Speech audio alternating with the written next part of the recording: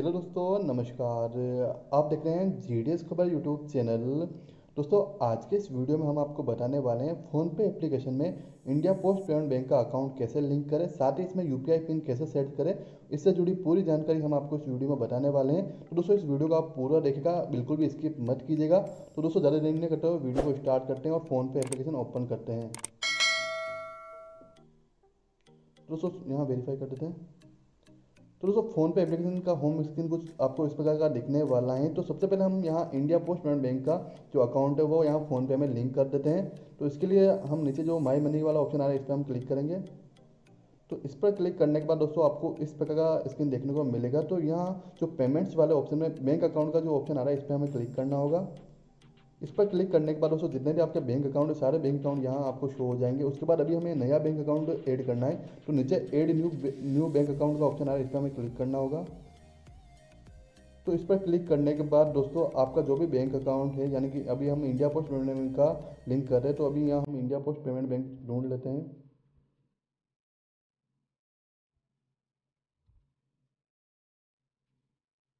तो दोस्तों, यहाँ आप यहाँ देख सकते हैं इंडिया पोस्ट पेमेंट बैंक यहाँ आ चुका है, इस पर हम क्लिक करेंगे। तो इस पर क्लिक करने के बाद ये आपके बैंक को फेच करेगा। तो आप यहाँ देख सकते हैं, हमारे यहाँ अभी दो बैंक अकाउंट, यानी एक तो सेविंग अकाउंट है, एक करंट अकाउंट है। तो हम ये दोनों अकाउंट यहाँ आ चुके हैं। इसके बारे में नीचे जो डन का ऑप्शन आ रहा है, इस पर हमें क्लिक कर देना है। तो डन वाले ऑप्शन पर क्लिक करने के बाद दोस्तों आप यहाँ देख सकते हैं, हमारा जो बैंक अकाउंट है, वो दोनों बैंक अकाउंट यहाँ आ चुके हैं। एक तो सेविंग वाला भी आ चुका है, आप यहाँ देख सकते हैं ये हमारा सेविंग अकाउंट है, और जो हमारा करंट अकाउंट है।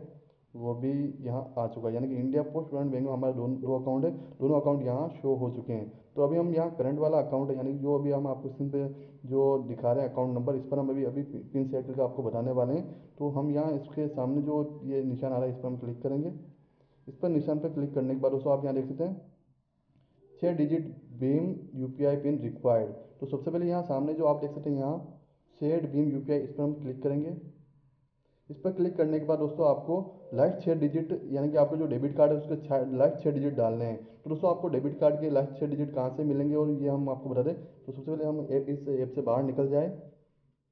तो यहाँ हम वापस जो आई मोबाइल ऐप है ओपन करेंगे।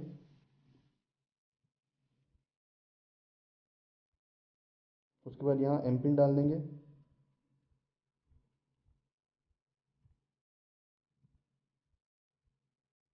तो एम पिन डालने के बाद दोस्तों आप देख सकते हैं हमारा अभी इंडिया पोस्ट पेमेंट बैंक का जो मोबाइल एप्लीकेशन ओपन हो चुका है और यहाँ आप देख सकते हैं रुपये डेबिट कार्ड इस पर हमें क्लिक करना है। इस पर क्लिक करने के बाद वर्चुअल डेबिट कार्ड और अभी यहाँ हम करंट अकाउंट का सेट करते हैं। करंट अकाउंट पर हम क्लिक करेंगे।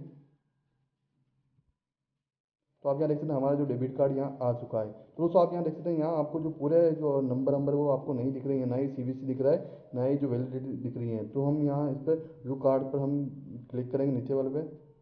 व्यू कार्ड पर क्लिक करने के बाद यहाँ जो एम पिन डालना होगा तो मैं यहाँ एम पिन डाल देता हूँ मेरे। दोस्तों, मैं हमारी जो सारी इन्फॉर्मेशन वो अभी हाइड करने वाला हूँ, क्योंकि इसमें कार्ड की जो सारी डिटेल आपको शो हो जाएँगी। तो मैं यहाँ कार्ड की डिटेल को हाइड करूँगा। कंफर्म किया।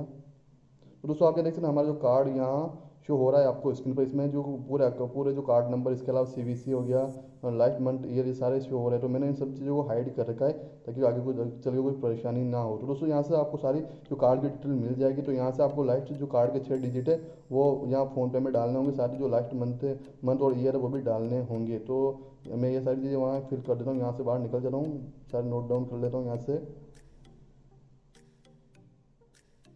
तो वापस हम फ़ोन पे में आ चुके हैं। तो यहाँ फ़ोन पे में अब मैंने ये सारी चीज़ें लिख दी है तो मैं यहाँ जो लास्ट डिजिट डाल देता हूँ मेरे एटीएम के।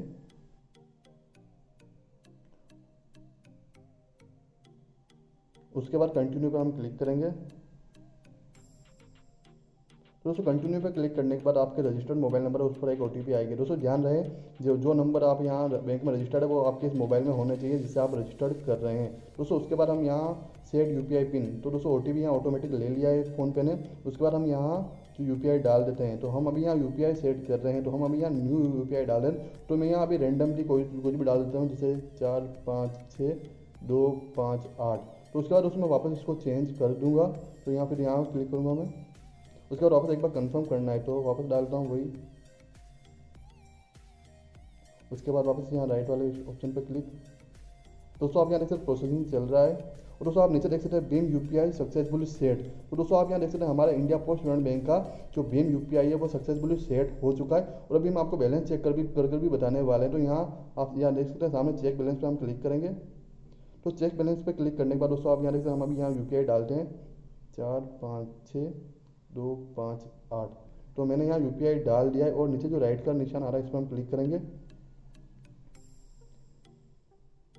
तो दोस्तों, आप यहाँ देख सकते हैं, हमारा जो करंट अकाउंट में जो बैलेंस पड़ा है, वो यहाँ शो हो रहा है फ़ोन पे में। दोस्तों, इसके अलावा हम बाहर से भी आपको बैलेंस चेक करके बता देते हैं।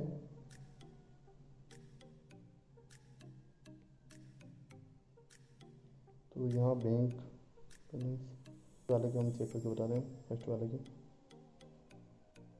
तो यहाँ हम वापस पिन डाल देते हैं।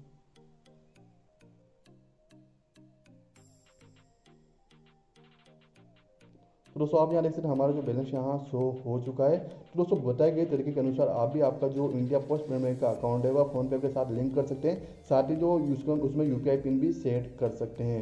दोस्तों अच्छा करते हैं आपको वीडियो पसंद आया होगा। दोस्तों, वीडियो को लाइक कर चैनल को सब्सक्राइब करें और दोस्तों, इस वीडियो को ज़्यादा से ज़्यादा अपने जो साथियों तक शेयर करें और जिन जिन लोगों का जो India Post Payment Bank account है, उनके साथ भी ज़रूर से शेयर करें।